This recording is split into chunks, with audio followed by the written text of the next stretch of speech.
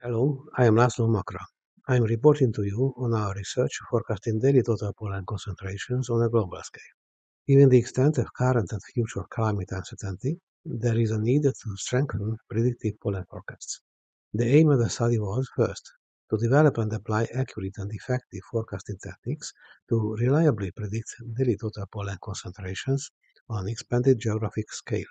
Second, to evaluate the overall order of importance of influencing variables in determining future pollen concentrations, and third, to explore the physical environmental associations for pollen responses as a function of the geographical location at a global level.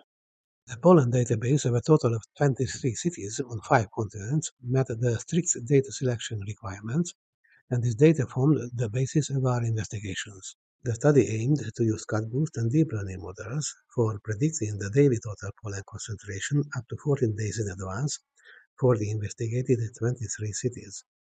The model includes the projected environmental parameters, recent concentrations, and the past environmental explanatory variables, and their future values.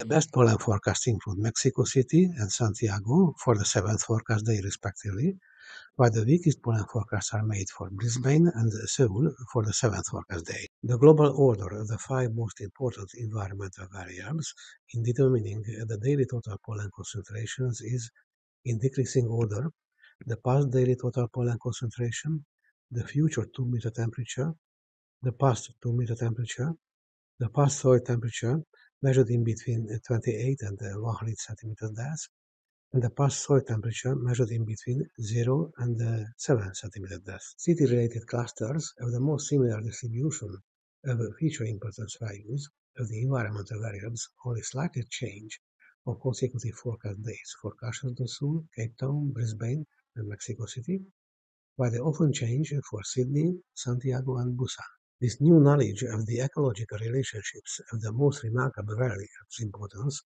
for pollen forecast models according to clusters, cities, and forecast days is important for developing and improving the accuracy of airborne pollen forecasts.